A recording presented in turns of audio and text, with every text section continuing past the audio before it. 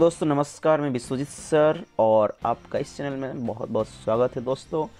अब मैं आपको बता दूँ कि मैं किसी कारणवश से लेट हो गया था। काफ़ी दिनों से मैं वीडियो नहीं दे रहा था आप लोगों के लिए। लेकिन अब से आपकी एग्ज़ाम मंत्रा सीरीज़ जो है दोस्तों, वह शुरू हो रही है। ठीक है ना? एग्ज़ाम मंत्रा जो आपकी शुरू हो रही है, ये कंटिन्यू अब ये क्लासेस चलेगी। आप ऑनलाइन क्लासेस आसानी से कर सकते हो। ठीक है ना?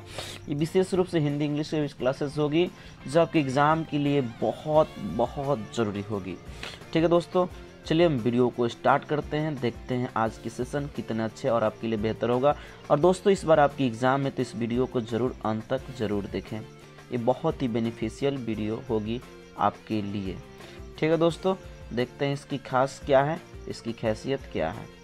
ठीक है? देखिए क्वेश्चंस एक फ्लैश हो रहा है आपका। देख पा रहे होंगे कि फ़र्स्ट क्वेश्चन है कि Gandhi ji died at hands of a fanatic on dash यानी कहने का मतलब है कि गांधी जी की मृत्यु जो हो जाती है, ये किसके हाथ द्वारा हो किसके द्वारा हो जाती है और कब हो जाती है, ठीक है ना? दोस्तों, मैं बताना चाहूँगा, जब भी ऑन का प्रयोग आएगा, किसका प्रयोग आएगा? ऑन का प्रयोग आएगा। ये जो आप ऑन देख रहे हो ना तो ये किसके लिए होता है? उसके लिए अब डेट और ईयर लेता है दोनों। याद रखिएगा। क्या लेता है? डेट्स एंड ईयर लेता है। जब भी इन की प्रयोग होगी सॉरी इन का प्रयोग होगा, दोस्तों तो सिर्फ़ इन का प्रयोग ईयर के लिए होता है। इस बात को आप याद रखिएगा, ठीक है ना? ईयर जब दिखाना हो, जैसे मान लीजिए आपको दिखाना हो 1940 1940 दिखाना है तो उसके पहले किसका प्रयोग कीजिएगा? इन का प्रयोग करना है, ठीक है ना? जब आपको डेट वोट दिखाना हो दोनों तो वहाँ पे ऑन का प्रयोग कीजिएगा। ये क्वेश्चन में ऑन पूछा है, इसका मतलब समझ में आ गया कि दोनों के दोनों पूछ रहा है डेट और ईयर्स पूछ रहा है, ठीक है ना? डेट ईयर्स में क्या है थोड़ा सा देखते हैं दोस्तों, ठीक है ना? अब आपका ऑप्शन फ्लैश हो रहा है।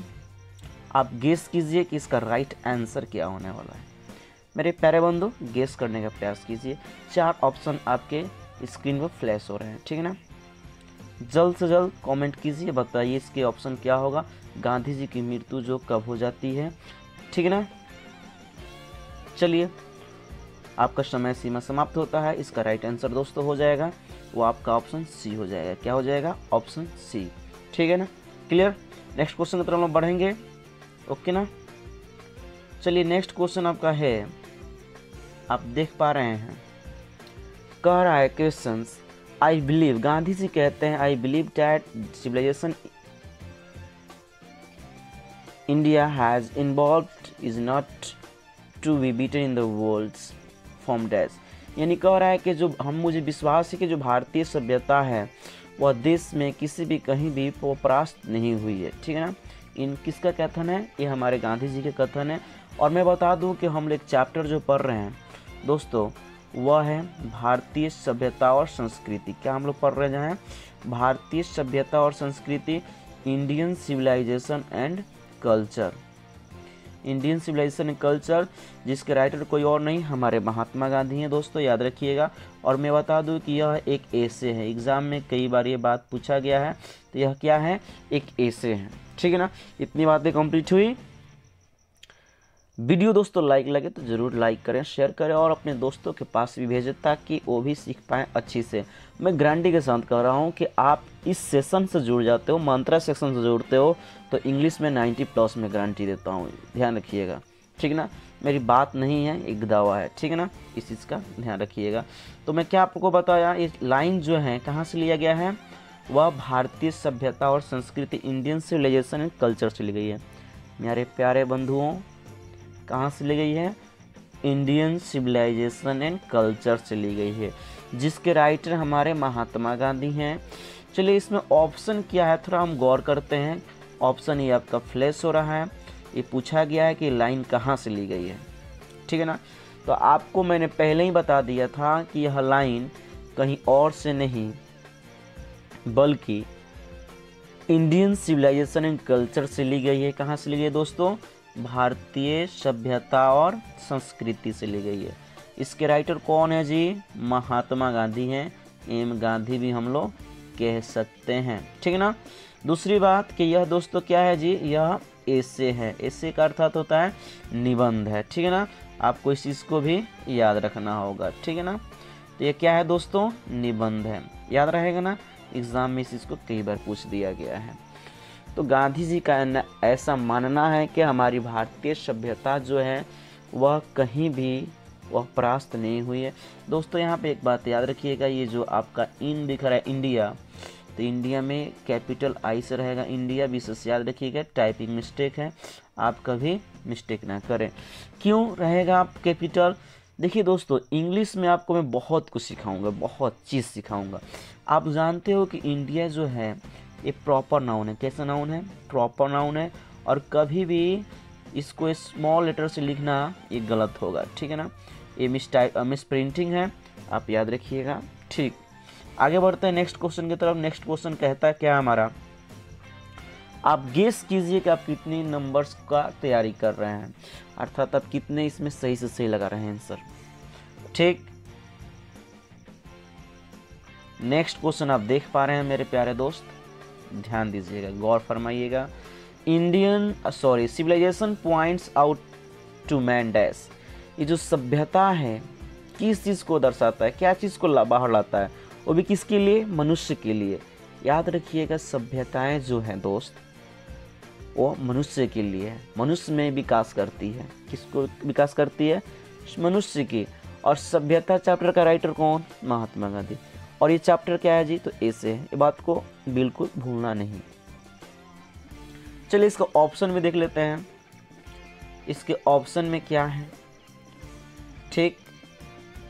तो देखिए, ऑप्शन डी है, ऑप्शन सी आया और ऑप्शन डी भी आया। तो आप मुझे गेस करके बताओ, प्यारे बंधु, कि इसमें से कौन सा ऑप्शन राइट होगा। चलिए फटाफट। इस सेशन को अगर सेशन आपको अच्छी लगे तो लाइक कर दीजिए फटाफट और शेयर भी कीजिए ताकि आप तो सीखोगे ना और अपने दोस्तों को भी सिखाओगे। ठीक है ना? मुझे बिल्कुल उम्मीद है कि आपको वीडियो अच्छी लग रही है और बहुत अच्छी लगे तो शेयर करना तो बनता है। यारो बता दो, इसका राइट ऑप्शन क्या होगा? इस सेशन का जो अगले क्वेश्चंस हैं, इसका राइट ऑप्शन गेस कीजिए फटाफट। कमेंट बॉक्स में आप बता सकते हैं कमेंट बॉक्स में क्या होना चाहिए। क्योंकि आप अब एग्ज़ाम की तैयारी के लिए रेडी हो चुके हो। ये प्रैक्टिस सेट चल रहा है मंत्रा सेट चल रहा है और इसमें आप लोगों को बहुत चीज़ें सिखाई जाएगी। और इसमें वही सारी चीज़ें सिखाई जाएगी जो हर हाल में एग्ज़ाम में क्वेश्चन अराइज किया गया है। और करता भी है। तो मैं बता दूँ, चलिए आपने तो गेस कर ही लिया होगा। मैं इसको बता दूँ, इसका सी आंसर होगा। क्या होगा? सी आंसर राइट होगा। ठीक है ना दोस्तों? कौन सा ऑप्शन होगा? सी होगा।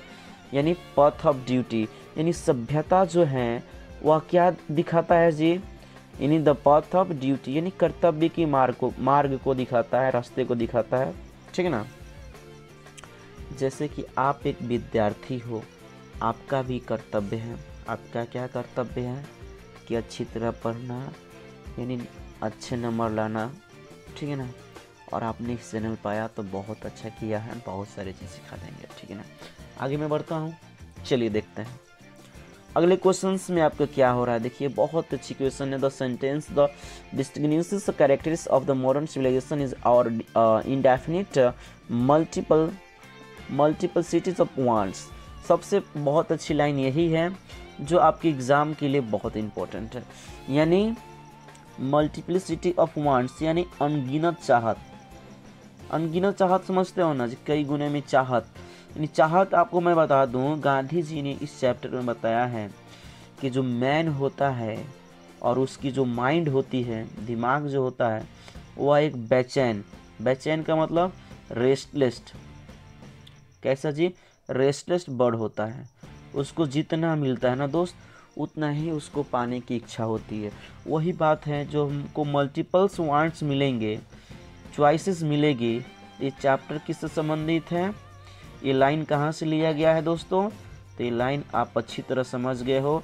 गांधी जी का मैंने चर्चा कर दिया। तो गांधी जी चैप्टर कौन संबंधित है? इंडियन सिविलाइजेशन एंड कल्चर भारतीय सभ्यता और संस्कृति। अब हम देखते हैं कि इसमें आखिर ऑप्शन क्या है। पूछ रहा है कि लाइन लिया कहाँ से गया है। तो मेरे प्यारे बंधु, आप स्पष्ट बता सकते हो, इसका राइट ऑप्शन क्या होगा? इसका राइट ऑप्शन हो जाएगा भारतीय सभ्यता और संस्कृति, यानी ऑप्शन ए इज़ राइट होगा। ठीक है ना? याद हमें रखना होगा इस चीज़ को, ये राइट होगा। ओके ना? चलिए मैं बता दूँ, एक लाइन जो है कई बार क्वेश्चन पूछा गया है। इस वीडियो से तैयारी आप लोग किसी भी फैकल्टीज़ का कर सकते हो। वो साइंस हो आर्ट्स हो, या कॉमर्स हो, ये तीनों के लिए ये वीडियो बहुत ही यूज़फुल है। आगे बढ़ते हैं। अगले क्वेश्चन की तरफ़ क्या कहता है? इस सेशन की हम लोग नेक्स्ट क्वेश्चन की तरफ़ बढ़ते हैं। ठीक? देखो भाई, मैं बताना चाहूँगा, मैं तो आपके लिए बहुत कुछ करूँगा, आपके एग्ज़ाम के लिए तो चार चाँद लाऊँगा, बस आपको मेहनत करना होगा, ठीक है ना? मेहनत करने के लिए जुनून भी लाना होगा। क्वेश्चन पढ़ो यार, क्या कर रहे हो तुम?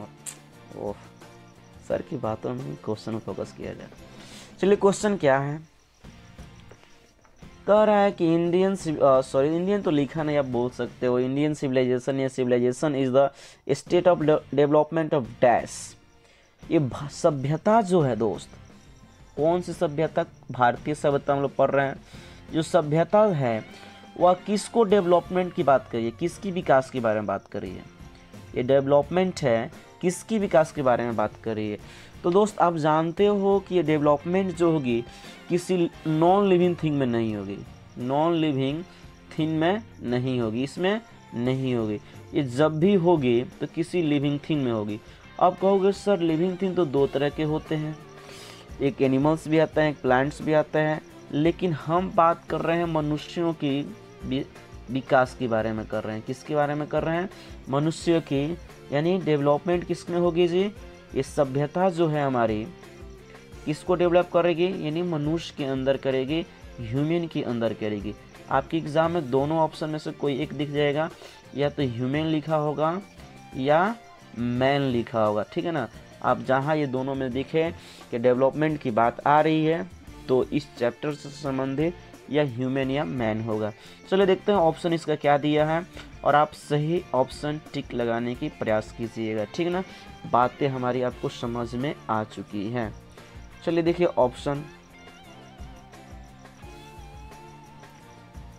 लो भाई, ऑप्शन तो आपके सामने आ गया। गेस करो क्या होगा। मेरे प्यारे विद्यार्थियों गेस तो कर लो यार, कम से कम इतना तो कर सकते हो। चलो, मुझे लग रहा है कि आपने गेस कर दिया। चलिए एनिमल तो हो नहीं सकता है, पता है आप लोग को एनिमल होगा नहीं बर्ड होगा नहीं। आप कहोगे, सर पीपल के यानी अर्थ क्या है? तो पीपल माने लोग ही होता है, यानी मैन होते हैं ह्यूमन होते हैं ह्यूमन बींग्स होता है। ये तो पता है आप लोगों को। तो जब ये नहीं होगा, ये नहीं होगा तो रह गया कौन? ऑप्शन ए होगा। ओके ना? बात तो क्लियर हो गई। क्या चीज़? चलिए, आगे हम बढ़ते हैं। इसमें क्या क्या और बातें हैं और इस सेशन में कौन कौन सी क्वेश्चंस और हैं, इस चीज़ को हम लोग देखेंगे। ठीक है ना दोस्तों? चलिए देखते हैं। नेक्स्ट क्वेश्चन तरफ़ बढ़ते हैं। बहुत ही अच्छा क्वेश्चन है। फोकस कीजिए। फोकस कीजिए दोस्तों। कह रहा है आवर फोर फादर पहले समझ लेते हैं क्वेश्चन को। उसके बाद ऑप्शन तो आप खुद ही बताओगे सर को बताने की ज़रूरत तो पड़ेगी नहीं। चलिए, ध्यान देते हैं क्वेश्चन नंबर सिक्स है। क्वेश्चन कह रहा है आवर फोर फादर जो हमारे दादा परदादा थे, यानी पूर्वजों के बारे में बात कर रहे हैं। हमारे जो फोर फादर थे, यानी परदादा जो थे डिड नॉट इवेंट मशीन वह मशीन का आविष्कार नहीं किए। बात तो सही है कि नहीं किए? बिकॉज़ तो क्यों नहीं किए? कुछ तो बात होगी जी। क्या बात होगी?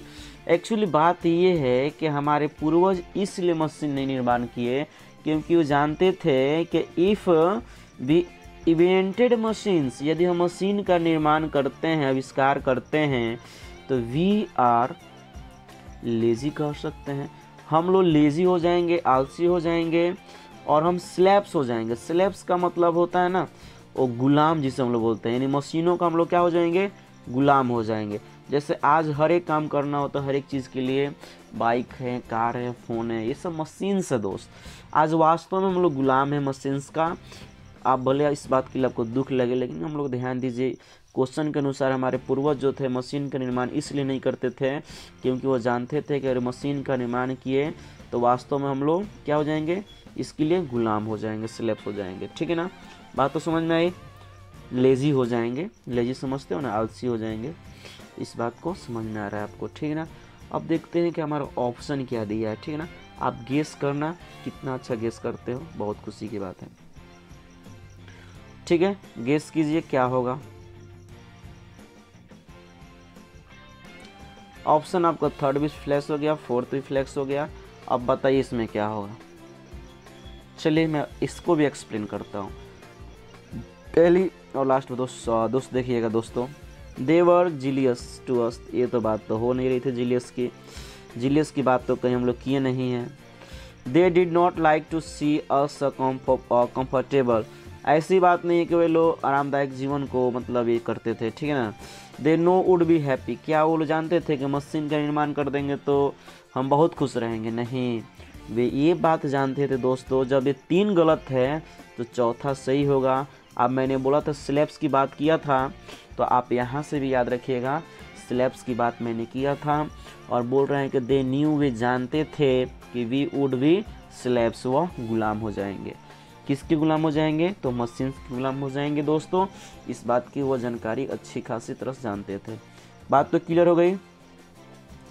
नेक्स्ट क्वेश्चन की तरफ़ हम लोग बढ़ते हैं, समझ में आ गया होगा। ठीक है ना दोस्तों? इस सारे के सारे एग्ज़ाम में क्वेश्चन राइज किए गए हैं। कई बार, एक बार नहीं, लगातार पूछे गए हैं। और आपकी इक्कीस दो हज़ार इक्कीस के एग्ज़ाम के लिए बहुत इंपॉर्टेंट है। दोस्तों, वीडियो को अंत तक ज़रूर देखें। अगर एग्ज़ाम से रिज़ल्ट लेना है तो ठीक है ना? ये सीरीज़ लगातार चलती रहेगी चैप्टर वाइज चैप्टर ठीक है ना दोस्तों? नेक्स्ट क्वेश्चन देखिए। बहुत ही अच्छी क्वेश्चन है। पहले क्वेश्चन को समझते हैं क्या कह रहा है, ठीक है ना? इस क्वेश्चन में कुछ बातें हैं इसमें जो समझने लायक है, ठीक है ना? समझिए इस क्वेश्चन में क्या है बातें, ठीक है? बोल रहा है कि the sentence after all there something is a Hinduism that has keeped alive of till announce is taken from ये कह रहा है, इस वाक्य में कुछ ऐसा तो चीज़ है जो हिंदुत्व को अभी भी ज़िंदा रखा है। कुछ ऐसी बातें हैं, कुछ ऐसी चीज़ हैं जो हमारे भारत में ही नहीं, कई जगह हिंदुत्व का सरवाइव किया है, उसको जीवित रखा है। कह रहा है इज़ टेकन फ्रॉम डैश ये लाइन जो है, किस चैप्टर से ली गई है। तो आप तो समझ गए होंगे, ठीक है ना, किस चैप्टर से ली गई है। तो हम लोग बात किस चैप्टर कर रहे हैं? गांधी जी के चैप्टर के बारे में बात कर रहे हैं। तो गांधी जी कौन सा चैप्टर लिखे थे? आप अच्छी तरह जानते हो, जो एक निबंध था। पहली बात, आप अच्छी तरह जानते हो, क्या जानते हो? कि आर्टिस्ट तो उन्होंने लिखा नहीं, अर्थ उन्होंने लिखा नहीं आई हैव ड्रीम लिखा नहीं। तो क्या बच गया जी? ऑप्शन सी इज़ राइट हो जाएगा। क्लियर हुई बातें? ठीक। चलिए, आगे हमें बढ़ता हूँ इसमें कुछ और बातें देख रहा हूँ। नेक्स्ट क्वेश्चन की तरफ़। चलिए क्वेश्चन को समझ लिया जाए। बहुत ही अच्छी क्वेश्चन है Mahatma Gandhi. Has been written या बीन का भी प्रयोग कर सकते हैं या ऐसे भी लिखिए चलेगा। हैज़ रिटर्न द लेसन उन्होंने कौन सा लेसन लिखा था? दोस्त, मैं उस समय से गाना तो आपके लिए गा ही रहा हूँ। आओ लेस लें तुम्हें। तारों के सर में नहीं दोस्त, परीक्षा के शहर में। क्या जी? चलिए, फिर से क्वेश्चन को देखते हैं कि आपको पता है कि गांधी जी ने कौन सा चैप्टर लिखा था। वो आप अच्छी तरह जानते हो। ऑप्शन फ्लैश हो रहा है, बताने का प्रयास करो मेरे प्यारे बंधु। इसका क्या राइट आंसर होगा? देखिए, चार ऑप्शन आपके सामने आ गया। पहली बात तो ये, इसमें तो ये तो है, थे नहीं, ये लिखे नहीं है, ये भी लिखे नहीं जो बच गया ऑप्शन सी जो है राइट होगा, जो हमारे गांधी जी ने लिखा था। चलिए हम आगे बढ़ते हैं। नेक्स्ट क्वेश्चन क्या है इसके? बहुत अच्छे से हम लोग करेंगे इस चीज़ को। देखिए। नेक्स्ट क्वेश्चन देखिए। फ्लैश हो रहा है। फ्राहॉफ्स वेयर रूलर्स वेयर इसे वेयर नहीं पढ़ेंगे वर पढ़ेंगे। एशियंट जो फ्राहॉफ्स जो रूलर्स थे। दोस्तों, यहाँ पे ध्यान दीजिएगा। यहाँ पर डबल वेयर का प्रयोग हो गया। एक वेयर यानी वर का प्रयोग होगा। ठीक है ना? तो वे रूलर ऑफ़ डैश एशियंट वो कहाँ के रूलर थे? ठीक है ना? आपको याद रखना है, ठीक? चलिए देखते हैं कि वो कहाँ के थे। ऑप्शन फ्लैश हो रहा है। बताने का प्रयास कीजिएगा, ठीक? चलिए देखते हैं आप लोग कितना अच्छा गेस करते हैं। एग्ज़ाम की तैयारी तो आप लोग अच्छे से किए होंगे। पहली बात तो रसिया सॉरी रसिया के तो थे नहीं, इंडिया के तो थे नहीं, ग्रीस के थे नहीं तो इजिप्ट के थे। इजिप्ट का अर्थ क्या होता है दोस्तों? मिस्र के नाम सुने होंगे लोग, ठीक है ना? मिस्र के नाम सुने होंगे लोग, मिस्र ऐसे लिखा जाता है, ठीक है ना?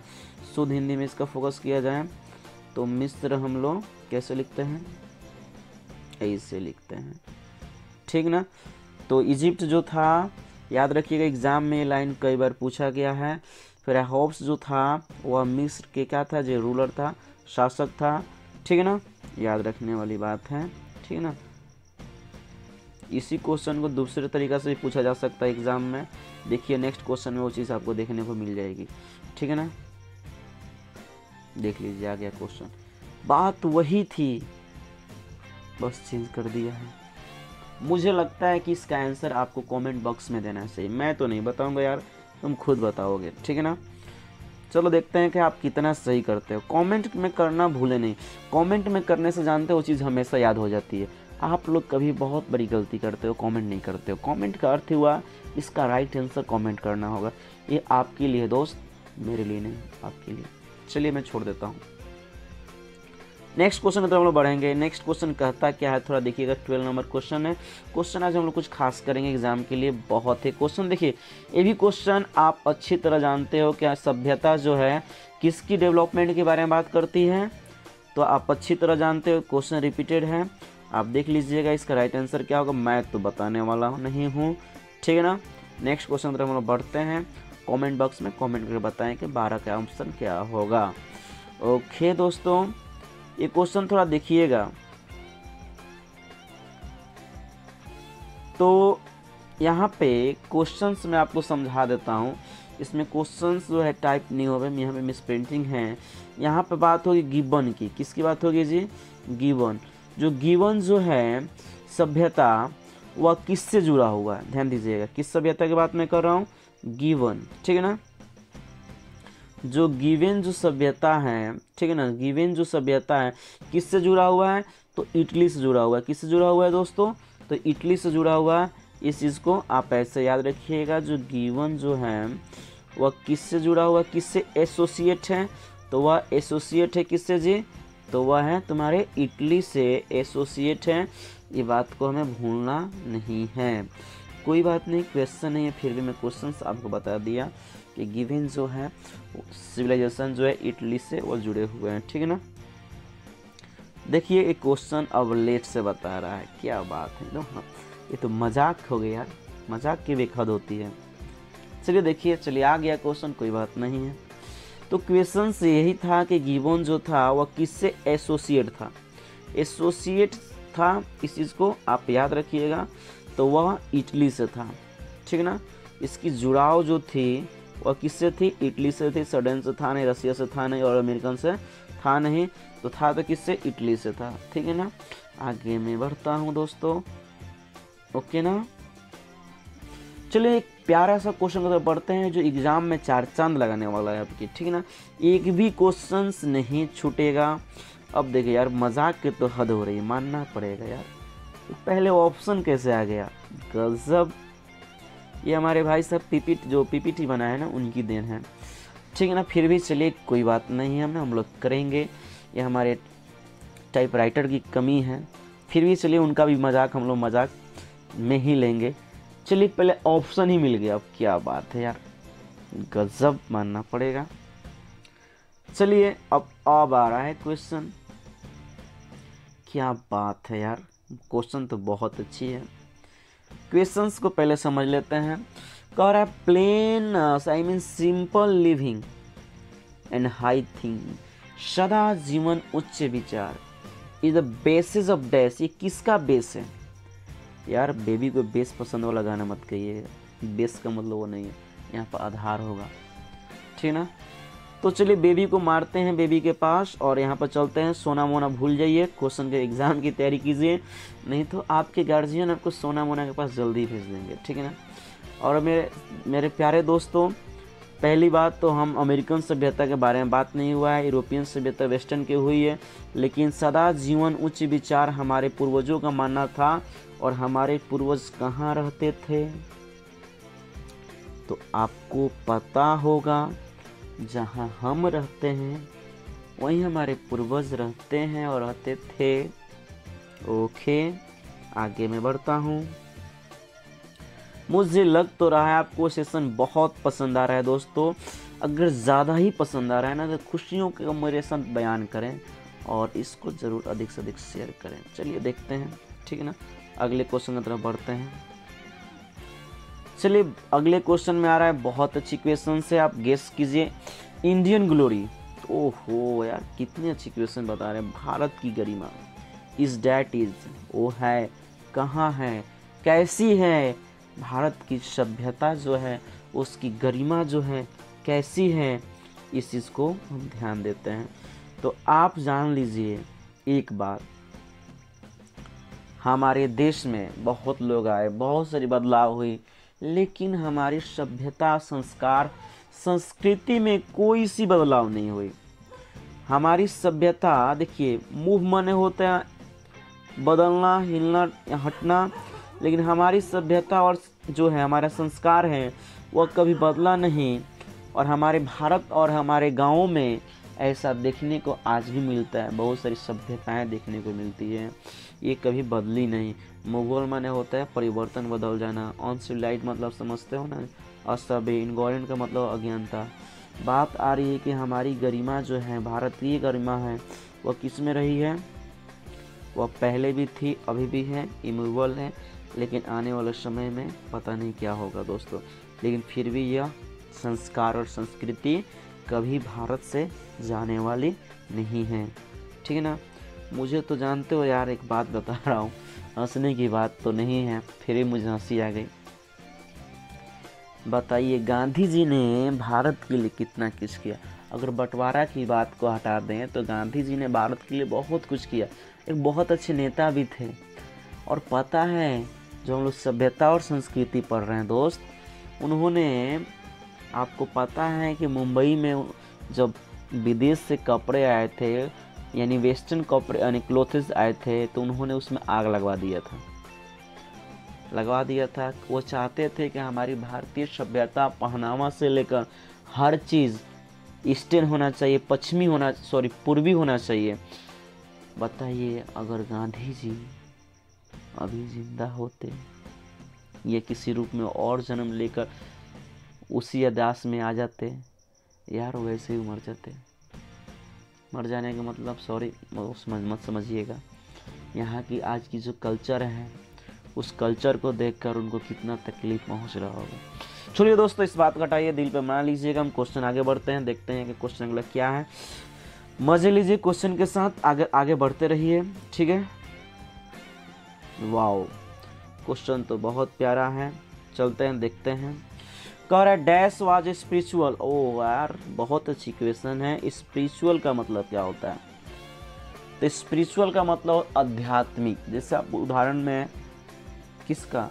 पतंज, ओ, पतंजलि स्टोर रामदेव बाबा को ये भी याद कर सकते हैं। कह रहा है कि dash was spiritual than a leader than lead spiritual leader than a politician वह कौन इंसान है? जो एक राजनेता से अधिक आध्यात्मिक नेता के रूप में वह इंसान था। तो वही कोई और नहीं, हमारे महान महान आत्मा जो था, किसी और के नहीं, महात्मा गांधी का था। ठीक है ना, महात्मा, यानी गांधी जी को महात्मा किसने कहा था भी क्वेश्चन बन सकता है। तो आप लोग को याद रखिएगा रविंद्र नाथ टैगोर याद रखिए। इन्होंने ही उन्हें महात्मा कहा था और महात्मा गांधी ने इन्हें विश्व कवि के नाम से निरूपित किया था। ठीक है ना? इस बात को याद रखिएगा। ठीक है ना?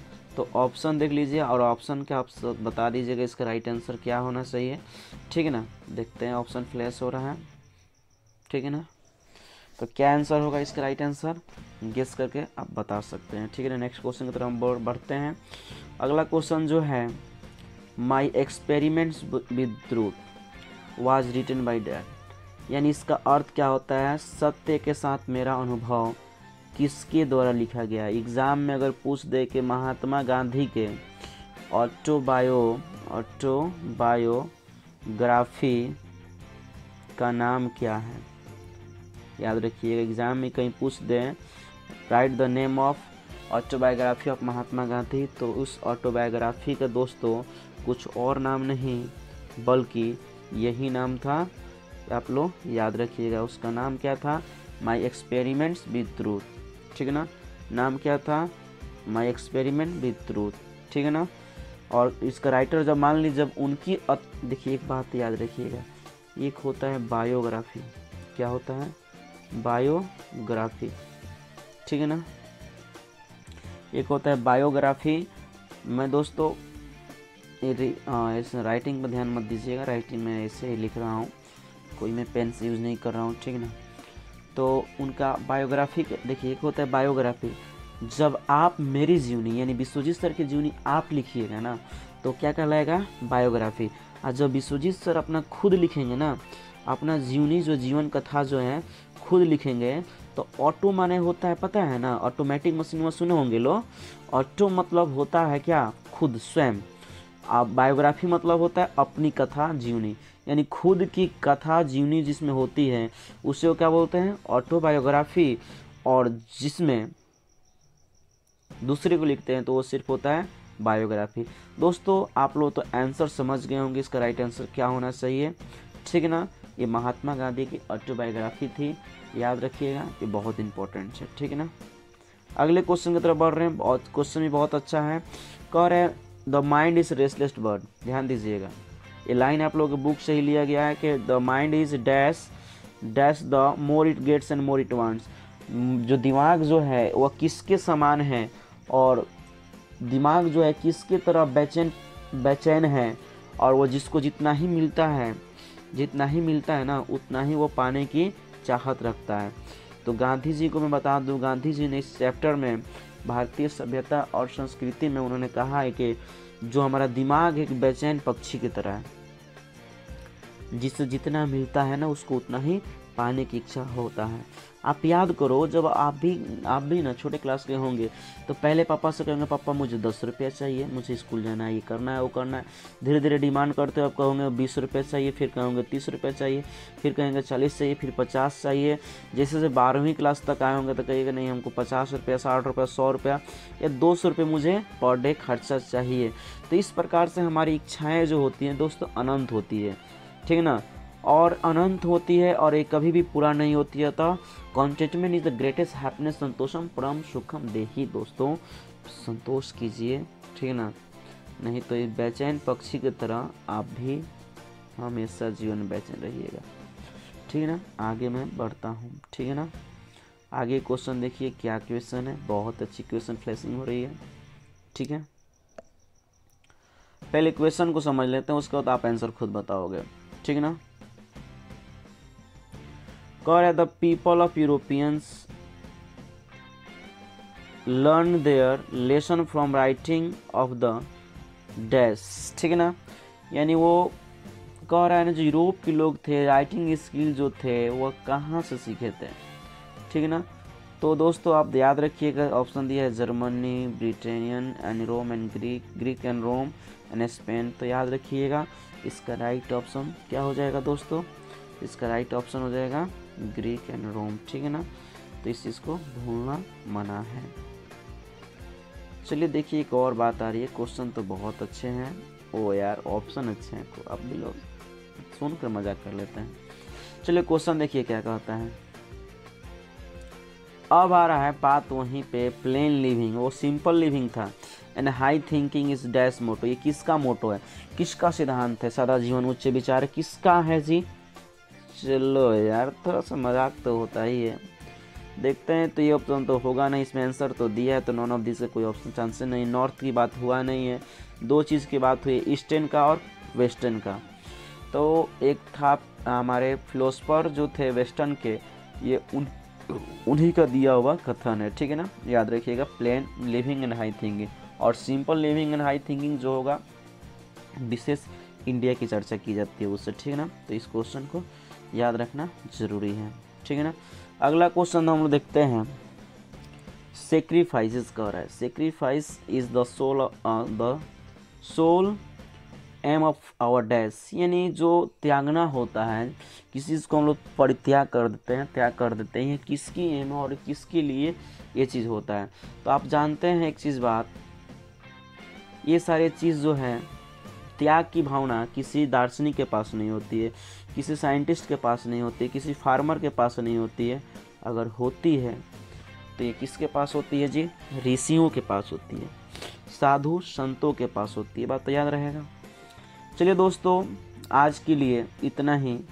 और अभी तक आपने चैनल को सब्सक्राइब नहीं किया है तो इसी प्रकार के वीडियो को देखने के लिए चैनल को सब्सक्राइब करें, लाइक करें, शेयर करें।